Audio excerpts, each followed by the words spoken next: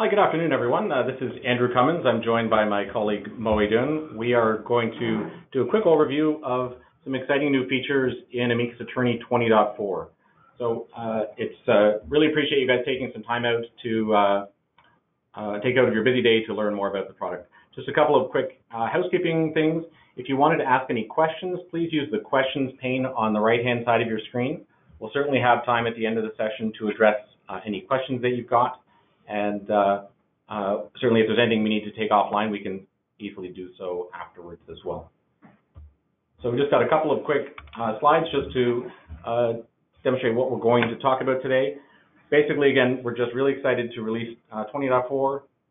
We'll give you an overview and we'll jump in and actually play around with the application and, and demonstrate the features to you. And as I said, we'll have a time for question and answers uh, at the end as well. Okay, so uh, we're going to start off. We've got three really big features that make up the uh, 20.4 as well as a, a bunch of other uh, great ones as well. So we're just going to start with a quick overview. We've got a new single sign-on capability, APX Pay Now, and enhanced file custom page layouts. And uh, Mo and I are actually going to tag team here, and we'll be able to talk through and then demonstrate these uh, capabilities. But uh, the single sign-on is, is really a great tool to make sure that your firm or your Amicus attorney can uh, can adhere to the any password requirements that your firm may have. In that you can now actually map your Amicus Attorney users to Active Directory, and it means that when you launch your Amicus, you won't actually have to put in your password because it will recognize that you're already logged into your domain. Uh, so it really simplifies the process of getting into Amicus, uh, but it also actually ensures that your uh, Amicus uh, Anywhere and mobile app users are all using the same password, and that is your domain password. So we'll jump in in a moment to take a look. Okay, and uh, this is Moeden. Um, thanks again for joining us. Um, the next uh, big feature there is uh, APX Pay. As you uh, can recall, APX is Abacus Payment Exchange. And uh, we had the previous releases, we had uh, allow firm to, you know, collect their credit card store it in the system securely uh, in our APX uh, uh, site. And we, uh, we allow you to process uh, payment from that by doing receive payment or trust receipt, etc. Now we are taking it a step further. We are allowing you to send to your client a copy of your invoice along with an embedded URL. So you can request from your client uh, to make prompt payment. As you all know that um, quite often you get a bill, you might put it down and then you know decide to pay it later on. In this way, uh, it's right in the client face. They can just click on a, um, a URL, and that will allow them to, to make the payment immediately. So you get uh, payment uh, uh, more promptly. Um, so I'll go through the demo when we, when we go through the demo and show you there are two ways that uh, you can do it. You can do it at the billing stage when you're creating your bill, or you can do it after the fact, after you create your bill. And um, once uh, the client make the payment, uh, the, the software is updated, and we'll show you that. Perfect. So yeah, and then the final of the big three is uh, now changes to the file custom page layouts. And uh, essentially what we're allowing you to do is really create a per file type dashboard. So for instance, all your real estate files can have a nice new dashboard, and that's because your file custom pages can now include list views, so like your list of notes, your list of time entries, uh, as well as other core fields. So actually some really cool changes that we want to, uh, to jump in and, and, show you. So with that, let's actually uh, get into uh, the demo component here. And uh, what I'm actually going to do is quickly show the uh, actually a little movie here that actually demonstrates the what single sign-on is all about. So in this case, if you actually now launch into Amicus Attorney by double-clicking onto the icon, it actually recognizes that you're logged into your domain and then automatically signs you into Amicus Attorney. So you don't actually need any separate password for Amicus Attorney. And that's a great option because if, uh, if your firm already has multi-factor authentication in order to get into your workstation, then you don't need to jump through more hoops to put in a password for Amicus Attorney. And then what you can also see here is in terms of making that uh, change, we've actually gone and added a new option under firm settings. So this is something your administrator would go and do, and they go up to login management and actually choose to enable the single sign-on capabilities. So what this does is maps the Amicus Attorney users specifically to Active Directory uh, users in your firm. So uh, in this case, we've got already two users that are mapped. If you actually just select the user on the Amicus firm member, their corresponding uh, Active Directory user and click the map, then you can actually uh, make that association very easily. Of course, you can also use the auto option and it will automatically map those users for you very quickly too. Uh, and then once you've actually enabled the uh, single sign-on capabilities, under user management, again, this is a capability limited to your administrator, you would see a column for the Active Directory user, and you can also from there go and change Active Directory mapping if you needed to uh, choose a different user. And then the other thing, because passwords are no longer set within Amicus Attorney, they're instead actually managed through Active Directory, the, uh, password screen actually just reflects that so that users can see that on their screen from within Amicus. But this is a great tool to, uh, if you've already got obviously very secure access to your desktop, then you can simplify the process of logging into Amicus. The other key thing to appreciate is, is it also means that your password for your mobile app and for Amicus Anywhere, if you're using those, is then using your domain password so that of course, uh, if that automatically changes or needs to change as per your firm uh, requirements every 30 days or every 60 days or what have you, it does make sure that that password is updated and is then in use for uh, for every way you access your Amicus Attorney. So a really huge improvement uh, that can benefit a lot of users, in particular uh, people using uh, Abacus Private Cloud as well. So uh, a great solution for improving it. And with that, we'll turn it over to, to Mo here. So what I'm going to do now is uh, go through the APX uh, part of it, the uh, embedded URL. Um, first thing you want to do is uh, set up your system. Um, to you want to go into the email option for, uh, on the billing side here and uh, indicate where you want your bill to go. So you, it's preferable that the bills when before you send it out to your client, you get a chance to review the bill. So I normally set it uh, to the draft folder, and you'll notice um, we add uh, an additional tab there for APX URL. And what that does is allow you to um, customize um, the body of your email. Uh, you may want to add uh, additional information in there. Um, if you're using the template, you can also include it embedded in your template uh, any sort of uh, logo, uh, additional information that is not allowed in the standard body. So the first thing you might want to do is go in here and make sure it's uh, set up to, to, the way you, you want it. You'll notice in here there's a, a, click this link to pay on online.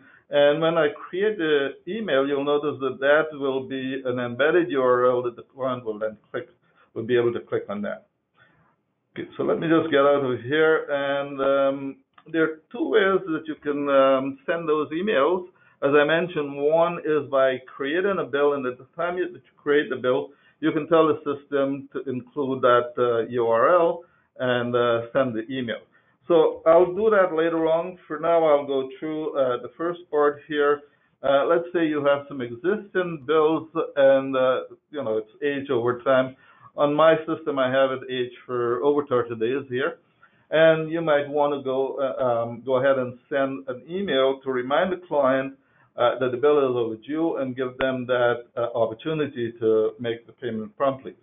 So the first thing you, will notice is on your left-hand side here, we have filter, and we use the same billing module that, uh, that, that was there before, and you can filter using these various options here uh, to indicate what period you want, or you can get a full listing and then determine from there uh, which invoice you want to send uh, the email uh, on. So um, let me just click on, on these here. I can click on all of them by just clicking on the top button there, or I can selectively go and click on individual one. Now I'll just uh, I'll just do one for now. Uh, the first one there, and I'll uh, click, if you notice when I click on that checkbox there, there is a an APX uh, button there uh, for sending that uh, um, email. So if we click on that, we're adding basically what we call a payment request to that invoice, and the payment request means that we're, we're creating an email to send to our client. So I'll just click on OK. tell me because I indicated in my firm setting to put that bill in draft, it indicates here where that uh, bill is. And you'll notice that it'll refresh the screen and we have an indication that this uh, invoice have a payment request now. So you can see the, the icon, the little icon is on there. And if I go to my inbox, or sorry, my draft uh, folder there, you'll notice it create that uh, email there. I'll just open it to show you what it looked like. So we have an invoice attached there. That's the invoice uh, that uh, was previously created. And these are the wording that you, you can uh, modify. Uh, we have the amount of the invoice listed there along with you know the signature line. But the main thing here is this URL is already embedded in there. So I'm just going to send that invoice now. I'm sending it to Andrew here, and he'll pull it up on his phone in a moment. So let me just click on send there. And uh, that invoice, uh, that email is sent to Andrew. And uh, is it on this, uh, or is it on the Yes, minimize that. Minimize that? Okay. So I'll let uh, Andrew take over here. He is uh, my client, so he's hopefully going to pay this bill.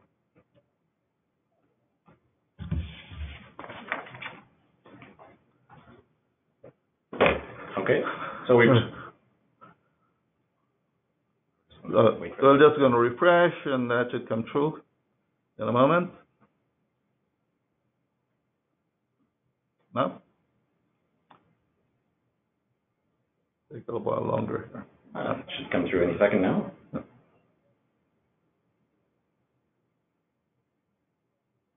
Let's just make sure it went, Uh, not stuck in your outbox. Yeah, okay.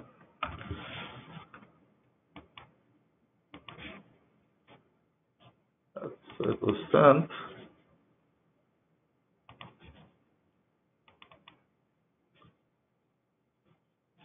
You do a refresh there? Yeah. It's not, uh, not coming up there, but that's okay. We can still demonstrate it from here as though we are actually acting as a client, guess. Okay, so once Sandy, Oh, no, It just came through. oh, it just came through? Okay. Take a little while to come through there, but it finally did. Okay. So we're viewing Andy uh, phone here now.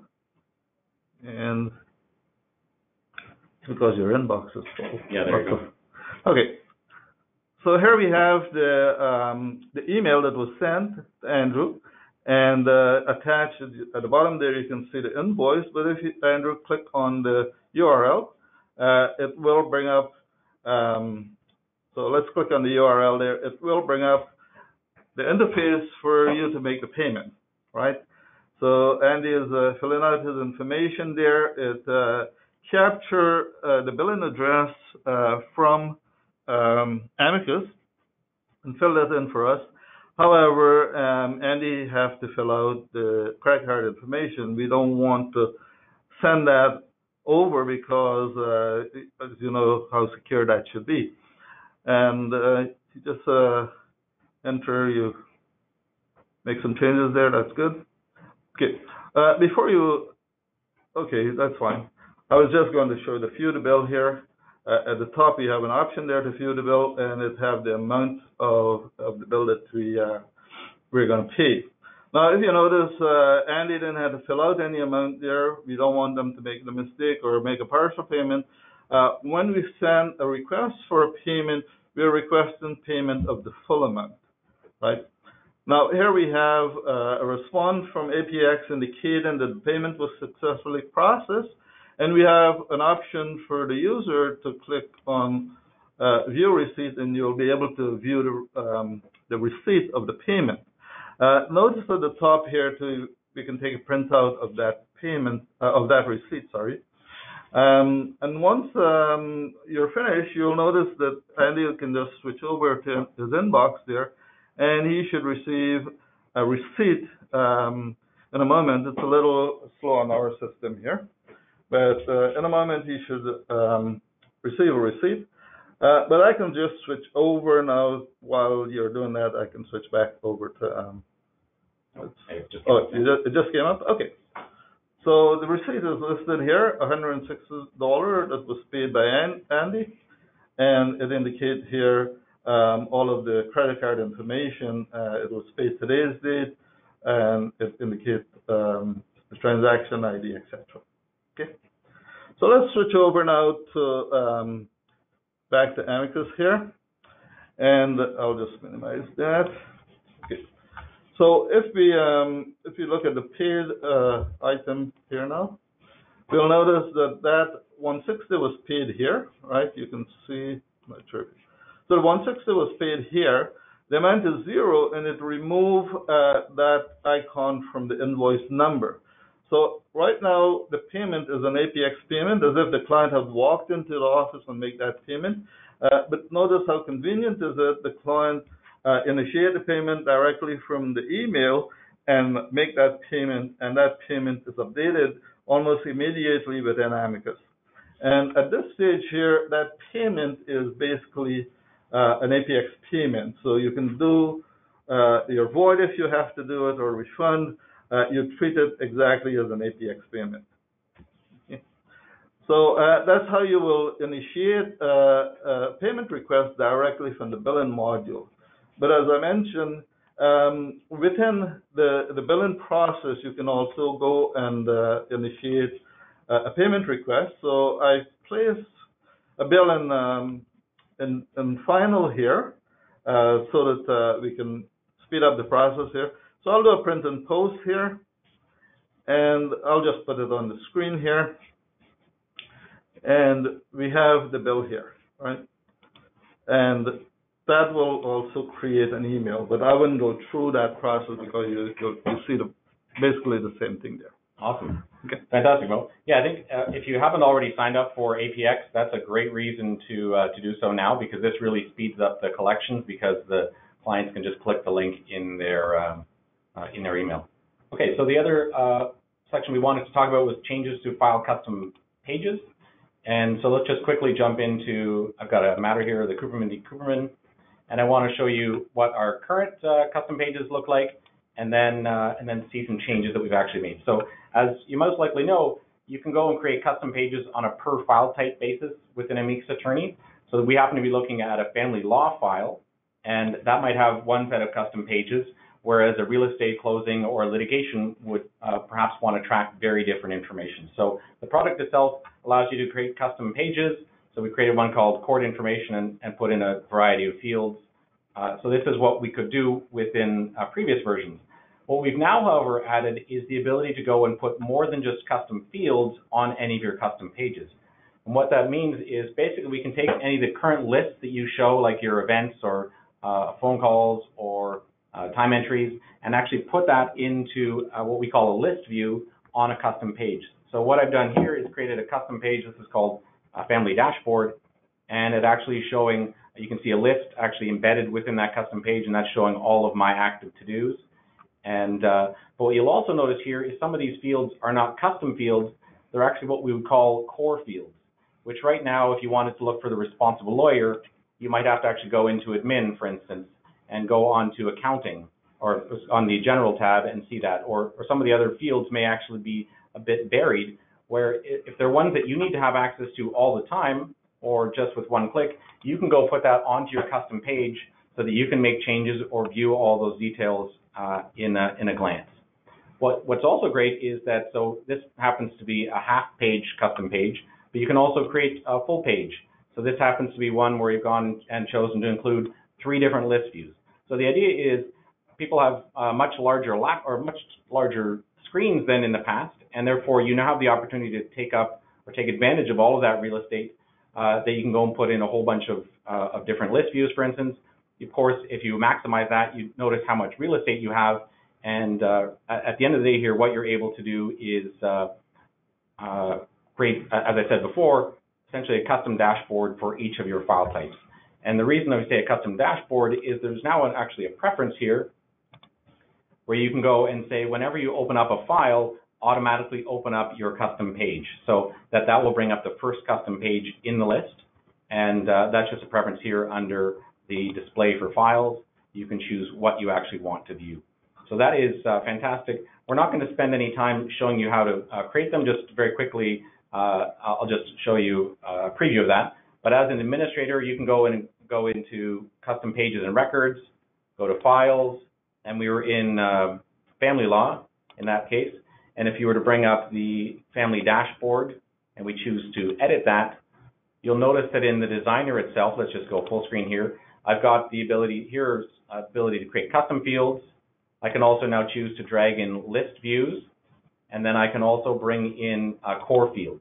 So this again could be the main note or the file summary or what to do when the lawyer is out of the office or what the referral source is. So it's really uh, takes, takes the file customization to a whole new level and you have so much control over the layout of your uh, pages. So uh, with that, as a quick review of the, uh, the new custom page layouts within Amicus Attorney 20.4.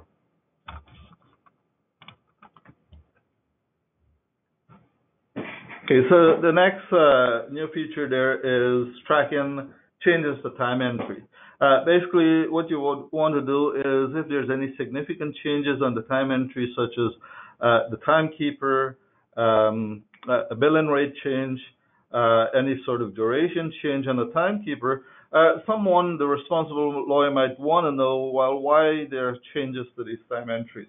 Uh, previously, when you change the time entry from the UI, you can you, you basically can open the, the current um, iteration of the time entry and you don't know if it was changed over time.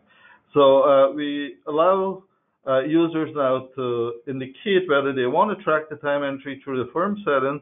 And once that is turned on, they can then create a certain type of description or, or reason uh, for the time entry change uh, on a list. And when a user go in to make that time entry change, uh, they will be prompted once that is turned on to make a selection from the list why the time entry was changed. That information is then displayed on the time entry when it's subsequently you open the time entry and also on the report if you run the report to include corrected entry. Sort of related to, time entry, we also enhanced the security profile uh, to allow um, certain uh, users, specifically responsible lawyer, uh, whenever they're viewing or reviewing a, file, especially in the draft format, that they can edit that time entry and make changes also to the time entry. Previously, they have to have a specific uh, security right, uh, billing administrator right. Uh, right now, uh, they can be a billing user, and we can just turn on that feature. it will allow them to make those edits. Andy? Awesome. Yeah, and then just a couple of quick things related to calendar and tasks. And that is now we have some new settings such that if you use the uh, calendar or task profiles, that we can actually remember those settings between sessions if you log out and log back in. We've also improved the date calculator so that it can uh, stay open, and I'll show you that. And then we've also added some what we're calling smart controls, and that's for if you're looking at people on file and also referral source. So uh, we'll jump in and actually explain that in some detail here. So uh, to demo the um, the time tracking feature, um, you have to be a billing sorry, you have to be an administrator, not necessarily a billing administrator, but an administrator to turn that feature on. And we have uh, track changes here. And that would allow you to uh, indicate whether you want uh, your timekeepers, whenever they make those changes, to be prompted uh, to identify why the change was made. So we have a checkbox for that, and we also allow you to add uh, to the list. So we will ship with just the first one on the list here, but you can add as much as you want on that list. Um, I'll just edit one uh, to show you, or I could do a new here. So new, you you basically click on new, you type in your description here, and of course, if you're typing in a new description, you wouldn't set it as inactive. Um, but if you have an existing one and you're no longer going to use that, you can then edit that. Um, that's the basic one. You can then edit it, and uh, it allows you to set it as inactive. Now, why would you want to set it as inactive?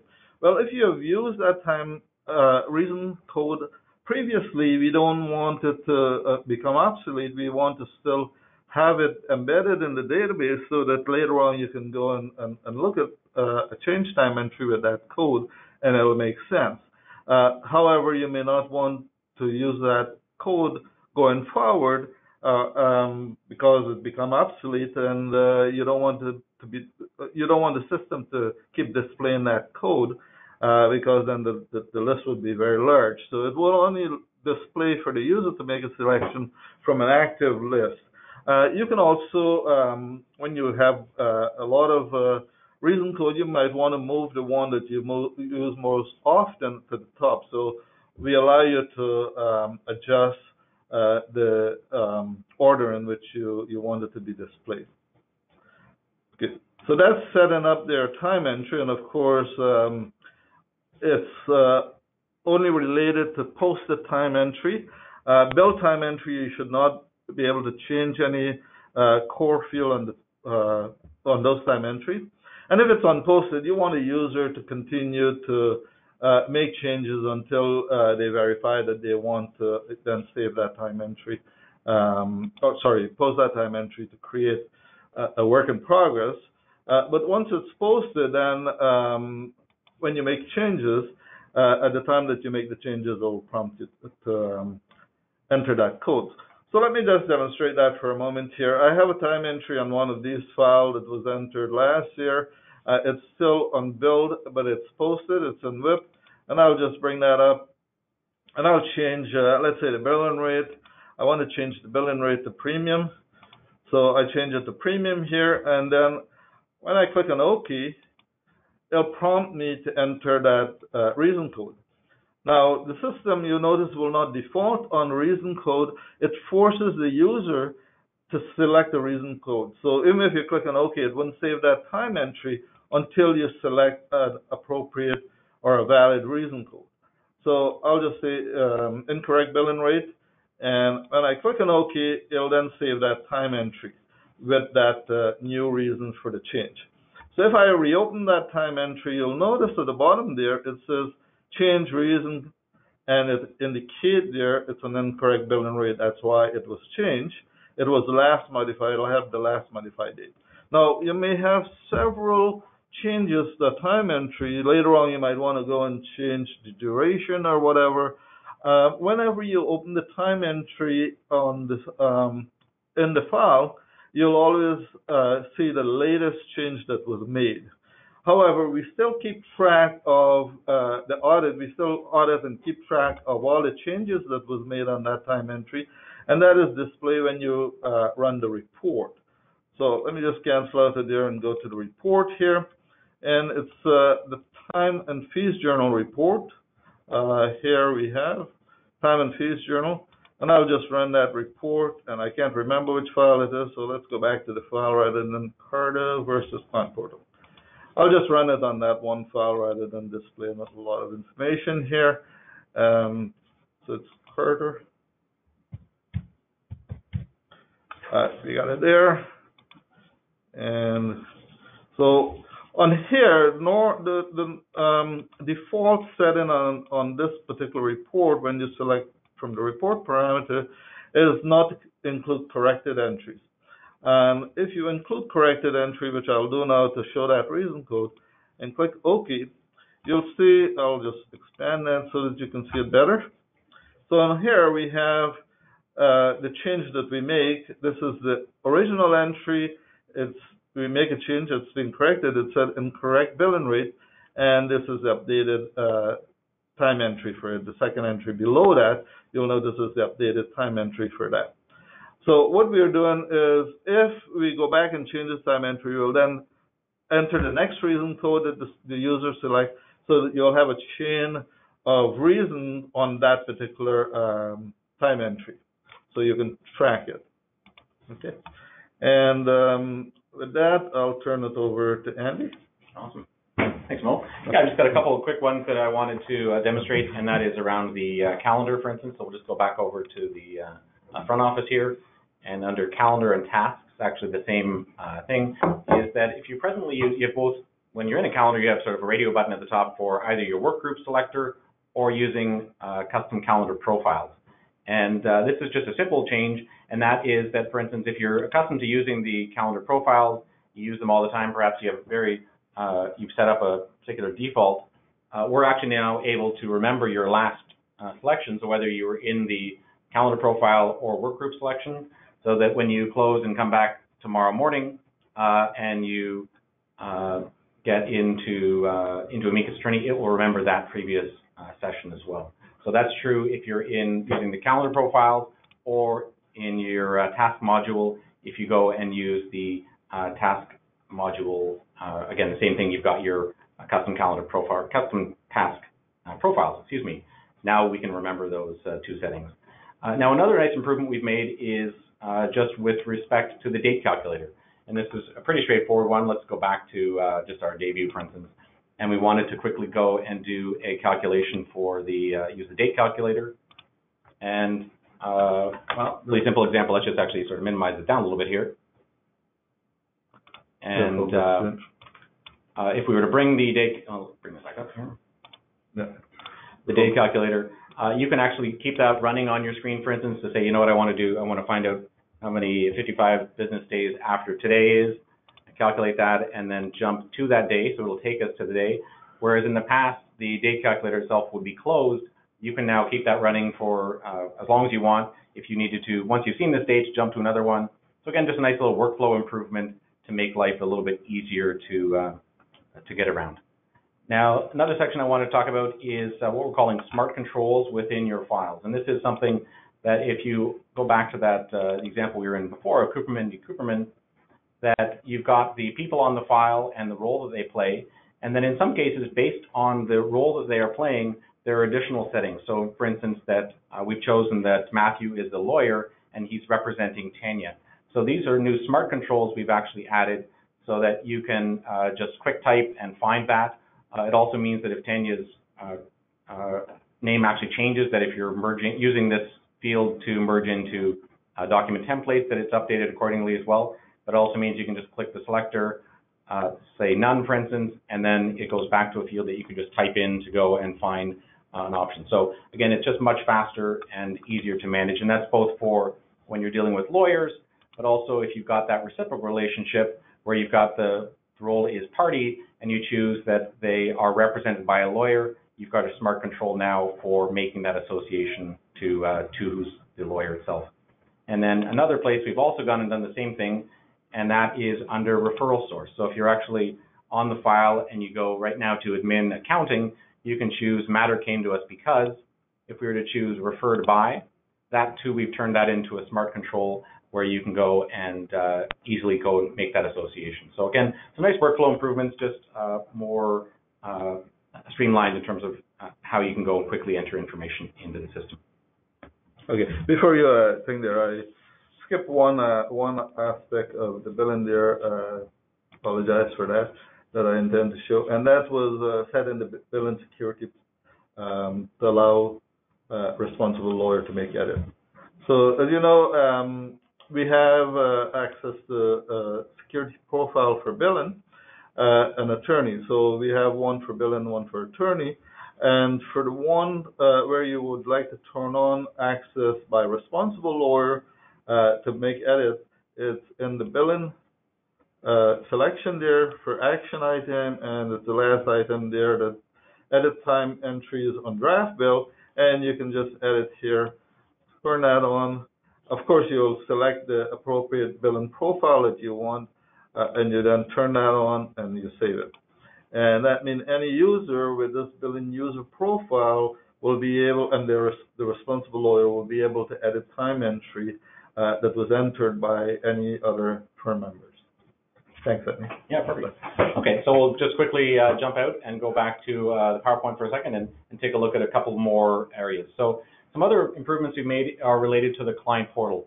And this is uh, great if you're using it uh, the, uh, to share information with your clients.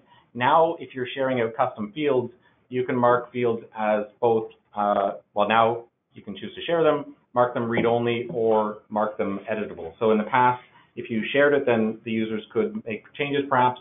So really a nice improvement here. We've also gone and added some self-serve options, and that is clients can now go in and reset their own passwords within the portal. And uh, this means that they don't have to actually contact you, and you don't have to go and resend them a new invitation. They can simply go to the login page and do it uh, themselves. And then the uh, other one is a great one, and that is that clients can now opt in or out of email notifications. So if you as the lawyer are actually sharing items in the client portal, that uh, clients can actually opt in to receive those, so basically to receive an email notification letting them know that the lawyer has changed something in the portal. It's still up to them to go log in and see the details of that change, but it's a great way to uh, to make sure they're not missing out on uh, on things that are being added by the lawyer. And then, of course, within Amicus Anywhere, we've also made some minor changes, but uh, but big at the same time, and that is the calendar not only has the day view, but now also includes a week and month view. So let's very quickly just jump into the uh, demo here, and we can show you what uh, what we're talking about. So we're going to go back to the attorney side once more, and just quickly open up that Cooperman. Cooperman matter, and we'll just take it off full screen here so we don't uh, mistake. If we go to the custom pages, that you'll notice I have little icons on here. So there's a blue icon, mean it's actually uh, uh, shared or editable in the client portal, and a gray one which actually shows that it's uh, uh, not editable, for instance. And I can just click the icon up here at the top and choose the sharing options. So now you'll see that for each of the items that are uh, on my uh, up to be visible in the client portal, I can say that it's not visible in portal, excuse me, portal, uh, editable in portal, or read-only in portal. And that is just a, just a lot more granularity. So that means that you can ask a client to go fill in details in the portal. Once they've provided that information to you, you can mark that as read-only so they can make further edits to it without you being aware of the change. So very quickly, let's just go into the uh, portal side and see what we're uh, what this is all about as well. So let's just minimize that and go back over to uh, the client portal. So the first thing to notice uh, on the client portal page, and this is as now clients logging in, they have the ability to click a forgot password uh, section here. They can go and put in the email address they use to log in, and as long as that's actually a recognized email address, we will send them instructions where they can go and reset that uh, uh, their password for it. But let's actually just quickly go log in and take a look at the uh, the changes that we've actually made on the portal side too. So in this case, we've actually logged in as uh, our client called KV, and we'll just say not none of that. That you'll notice a couple of uh, minor changes right up at the top. You now have an option, so the client actually can click options. This is where they can see, while it's showing the name that they're actually associated with, their email address, and this is where they can opt in or out of notifications. And the idea is, as the law firm is sharing uh, any records, whether that's the files themselves or documents, notes, appointments, tasks, uh, and invoices on those uh, files that they would be notified of the changes. So uh, a great great tool for uh, for making sure they're they're kept up to date on the uh, on any changes that are going on. And then let's quickly just look at a file, for instance, and you can see the custom pages. So if we go to that Cooperman matter, when it opens up, so it's called more, the custom pages are called more when visited by a uh, client. And you can see that, for instance, the respondent income is marked as read-only, whereas the petitioner's income is still editable. And again, this is up to the, uh, the law firm can choose for any given matter which fields are going to be uh, editable or read-only for, uh, for their users. Okay, so let's uh, quickly look at the, um, we just saw the client portal. Now let's jump into Amicus Anywhere. So we've actually logged in now as the lawyer to the browser component of Amicus Attorney called Amicus Anywhere. And if you were to go to the calendar option at the top, we're logged in as Terry here today. Uh, I can see now that in addition to the normal uh, day view, I've now added, or we've added a week and month view to the calendar. So it uh, just gives you much more flexibility when you're logging in uh, via browser to see more details about your calendar. Of course, you can go to a file and see lists of anything that's going on uh, for any of your events. But the idea here is just more uh, control to see the details um, about your events. So with that, we'll turn it back over to Mo. Okay. So um, the next thing I would like to show is uh, regarding the APX. Um, there's one one feature there, uh, reversible payment. Now this is not a feature that the user will see, so it will be very difficult to demonstrate.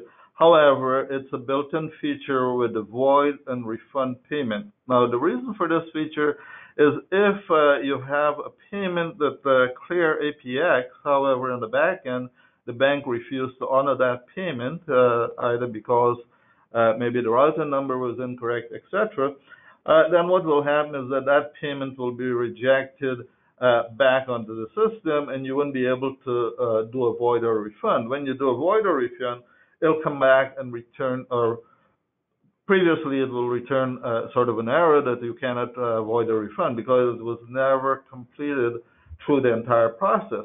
Uh, now the system is smart enough now to check the status of that payment, and if it uh, if it, you cannot void or refund it, it'll give you the option to do a reversal of that payment. And what that means is that the payment did not go through the full life cycle to clear the bank, so we don't need to hit the bank again to double charge the bank or, or double process that. The system will then recognize that and just update your database to reflect that there was a reversal, it did not clear the bank. So that's a difficult one for me to, really demonstrate because it has to go through that sort of process. Uh, however, the other one I can demonstrate, which is uh, showing uh, showing a listing of all the payment method. Basically, when you enter payment method into the system, what we do is capture the last four digits and, keep that along with what we call a token because that payment method is securely stored elsewhere we don't save it in, a, in your database here. It's a reference more or less uh, to a secure site, and um, we can, you know, list those payment methods, and that's the way you can reuse those payment methods. You don't have to, each time you want to make a payment, you don't have to re-enter those information. So we provide a report that uh, you can now look and see which client have a payment method. Uh, also, um, we allow uh, users to reprint bill. Uh, currently, you can do that, but it's a time-consuming task. You have to go to each individual file, open the image, and then uh, click on print. Uh, this method here would allow you to select um, a bunch of invoices that you want to reprint, and then you can click on, uh, on the print button, and it'll allow you to go through and reprint those bills. Um, we also have a feature here that would allow you to apply tax on activity code and um, some firms in um, in Texas had requested this. Um, what it is is that you can tell the system whether you want to tax uh, on your activity code, which means the system will look at the activity code and see if it's taxable or not. So you can uh, designate which activity code are taxable or not. Or if you're tax, if you're applying tax on fees uh, without using the activity code, that means the system will assume all fee entry is taxable. Um, we had uh, expanded the UTBMS code. This is for your e-billing. Uh, they had added some additional uh, UTBMS activity code to the list. Uh, it, it's expanded, I think, to about 25 selection now from uh, originally 12 selection. And the referral report, that report, uh, I'll show you what it looked like. Basically, within Amicus, each file you can identify if there's a rever- re referral source, sorry. and uh, with that, you can now run a report, and it will give you billing activity information, uh, such as the amount of time entry you posted, the time entry that was billed, and any uh, payment that was done on those time entries um, within that uh, time frame. Let me just uh, go to Amicus now. And sorry, that one. Where are we? There we are. Okay. So um, to show you where you can uh, access the, sorry, to show you where you can access the uh, report for uh, your payment method, I'll go into the firm report here. And I'm on the attorney side, firm report. And I can go into uh, the people module, and we have here an option here that will give you the payment uh, method list.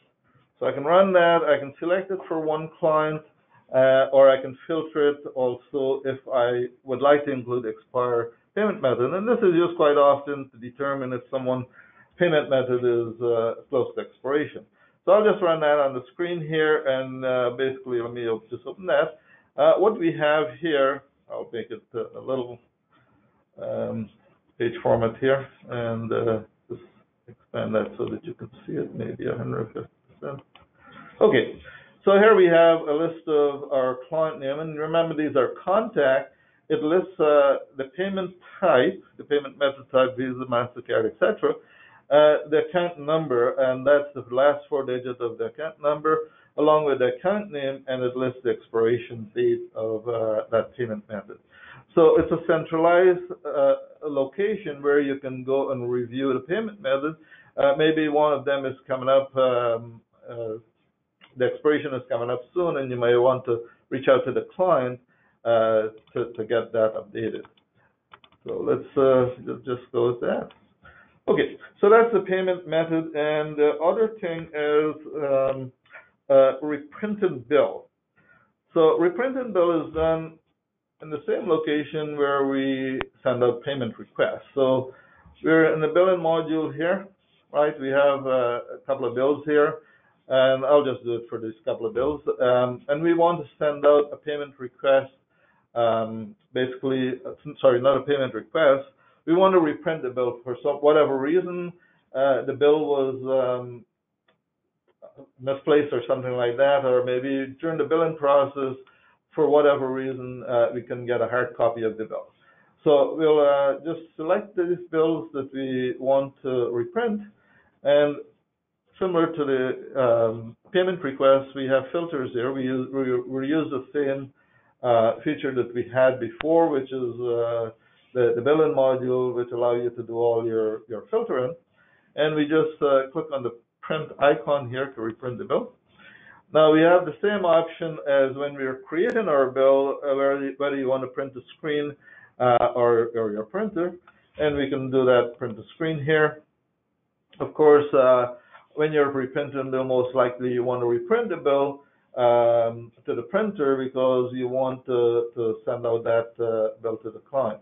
Uh, and I'm just going to put it in a proper format here so that we can see it appropriately. And I'll just uh, zoom in there. So here is your, your bill that you reprinted. It's, uh, it's the exact copy of the bill that was sent out previously. It have all the details on the bill here. Um, you know, it's just an exact image basically, right? And in this case, I have two bills, so I have the first bill. This is one of one, and I can just do uh, one of two, right? And I can just go to the second bill here, right? So we have two bills there um, that we can uh, view. Uh, and we can also uh, print it if we have to print all. Um, applying tax, uh, that is uh, set up within your, your tax system here. Um, remember from may use tax, and it's a tax set in here. Uh, it allows you to basically indicate whether your new files are taxable or not by default. And then we have an option here that says use activity code set in for tax on fee. And basically when you turn that on, uh, any new time entry, any time entry that you use an activity code, if the activity code is set as taxable, it'll then pick up that information. Uh, and it'll, sorry, pick up that, um, it'll perform the tax on that particular time entry that uses that activity code. So any activity code that doesn't have that are not taxable, it'll, it'll ignore the tax on that. If you don't turn that on, that means taxes on all time entry. And um, the expanded the activity code. So if you go into your activity code here for um, task-based billing, for your activity here, we have um, expanded that. I think it was up to 11 here and now we expanded it to 28. So we have a lot more activity code there for your UTBMS code. And uh, the referral report, the referral report can be found in your um, attorney side, and I put it in the business planning because basically you'll be using that as a management tool. So under Office, firm report, you go to your business plan and we have a referral report. Now, before I go into the referral report, I just want to show you on the file where you set that up. I'm sure a lot of people are familiar with that, uh, but what I'm referring to is a referral under the admin. Um, you have a referral under accountant here. On your right-hand side there, you can see you can who refer the file. You can indicate there whether it's a cold call, an existing client, etc and you can add to that list. Um, sorry, you can um, add uh, a contact. Uh, if you do referred by, you add a contact because you might not get a referral through that list that we provide. So let's uh, let's go and run that referral report. We go to the, the firm report here, as I said, business planning, and I select the report there click and run, and I'm just going to run it for this uh, year. So just so that you know, that referral report, um, the uh, period that we run it is based on the opening date for that those files. So if we uh, if we run the report here and we click on OK, and I'll run it for all file types, uh, we basically get a report here uh, that gives us the activity along with a summary at the bottom here of um, a summary of uh, what was um, posted for time entry or fee, what was billed, and what was paid. Now, if the firm do not have billing activated, of course, the paid column would be uh, blank. Uh, but at least they can use what was posted and what was built so that they, sorry, what was posted only. They wouldn't have what was built and what was paid because we don't know if it was, was billed or not. So it'll be only what was posted. So you can see uh, the, the firm can determine what sort of activity is going on through their referral source. And at the bottom here, we have, of course, the, um, the summary of it uh, on the referral source. So we have the summary of what's going on. Uh, so we can look at the detail or we can look at the summary. Okay. And that's it for the referral. Okay. Awesome, thanks, Mo. So we just got a couple more uh, things to touch on very quickly here. So I'm just going to pop out of here and back to the PowerPoint. And that is uh, just we've uh, we've introduced what we're calling the Customer Experience Improvement Program, or CEIP, and that's just a way for you to help us uh, to help you essentially. So you can opt in to share anonymized firm information about how you're using Amicus Attorney, uh, such that we can use that to further improve the product in the future. We've also now added a link to the Abacus Next account portal, so if you needed to uh, log a support ticket or update credit card information. We've also changed up the uh, document assembly link guide, or specifically the variables that are used for that. Uh, the QuickBooks, uh, we've actually done some serious work to improve the performance of QuickBooks, specifically for subsequent synchronizations, so it's a big deal there. And we've also added some uh, mass change for uh, essentially file associations when you're working in Outlook itself. But uh, just quickly, I want to touch on just a couple of things in that, and uh, I think we can address almost all of that from uh, the Help Center itself, aside from this uh, Customer Experience Improvement Program. But you'll notice, as an administrator under Firm Settings, we've listed a Customer Experience Improvement space here, and you'll be prompted to ask if you wish to participate. There's, uh, you don't have to, and you can certainly opt in or out at any time, but it just allows uh, you to share anonymized information uh, with us so that we can work to further improve the product uh, as well. And then within the uh, Help Center, that's just a couple areas I wanted to touch on. One, you've now got access to the Abacus Next account portal, so click that, and with your account details, you can uh, create support tickets or update your invoice or update your credit card, for instance, for your uh, subscription. Uh, that's where you'll also find the merge variables uh, section. Uh, and then I guess a couple things to sort of wrap up with.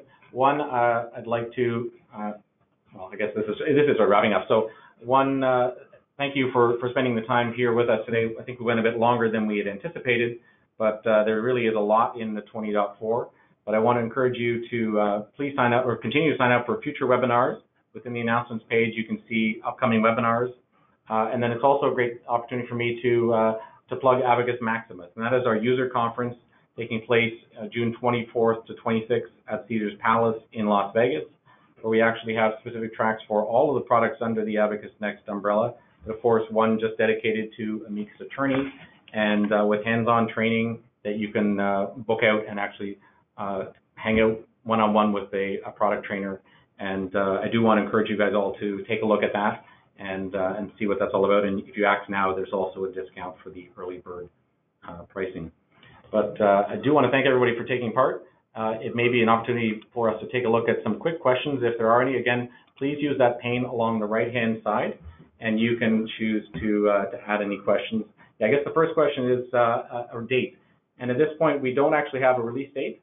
Of course, if you're already using a version of Amicus Attorney 20, then you'll actually be notified, or your administrator will be notified automatically when the update is available for download. There's also a firm setting that you can change to say automatically download those new updates. If you've not yet updated to Amicus Attorney 20 and you're running on version 2016, for instance, I would encourage you to contact the support team and they can certainly arrange to get you up and running on the latest version. Uh, and we'll certainly keep you posted on the, the release date itself. Uh, some other questions here with respect to uh, date calculator that um, yeah, just a suggestion for improvement, and that's probably a good opportunity too to uh, plug the uh, feature upvote section. Within Amicus Attorney, you can click on the suggestions option and uh, the the ability there to go and put in a, a suggestion that you think others might appreciate, and, and then you can go and you and your uh, fellow Amicus Attorney users can vote on those, and that helps us to schedule future uh, updates as well. Yet the so another question just about the Outlook Association, and that is now that you can select a number of uh, email messages in your Outlook view and actually change that file association uh, very easily just with a single click and, and make those changes. So uh, that's within the uh, Outlook itself as well from the add-in or the Outlook view. So some great improvements uh, there. We're just sort of running low on time to, to demonstrate. Okay. quickly, I think there's one about the Billing module uh, and timestamp uh, compatibility. Once you activated the Billing module, your only link would be with uh, with QuickBook. Basically, we, we link with QuickBook for the accounting part of it. All your billings will be within Amicus, so uh, you don't need to link with TimeSlip to post any time entry. That once you post a time entry, it, it treats it as a work in progress in Amicus Billing, and when you create your bill, you create it within Amicus. Uh, what you're using your link for, which is QuickBook, is to maintain your accounting part of it, which is your your firm activities such as uh, pay and payroll or anything like that, uh, making payment. Yeah, and then, so another question of just, uh, are there other uh, fixes in the application? So once the 20.4 is released, uh, there will be a list of, uh, of other issues that were addressed within it, outside of just uh, feature changes as we've uh, documented here today. But uh, certainly I encourage you to take a look at that, or certainly contact technical support and they can uh, uh, help with any questions about uh, uh, issues that you may have encountered in, in a previous version. But uh, I think with that, uh, we may uh, wrap it up. I do want to, again, on behalf of both Mo and myself, thank you again for taking, uh, a, well, actually, we managed to go a full hour here out of your day to learn about uh, Amicus Attorney. We will be record, or we have recorded this, and so if you've got someone in the office who you think might benefit from this, uh, they can go to the webinars page on our site and uh, choose to watch this or any other previously recorded webinars to learn more about uh, Amicus Attorney. Yeah. And we encourage you, if you have any question, uh, to contact us, and we'll be happy to um, Yeah. provide an answer. Perfect. All right, well, with that, I want to thank you again, and we will sign off.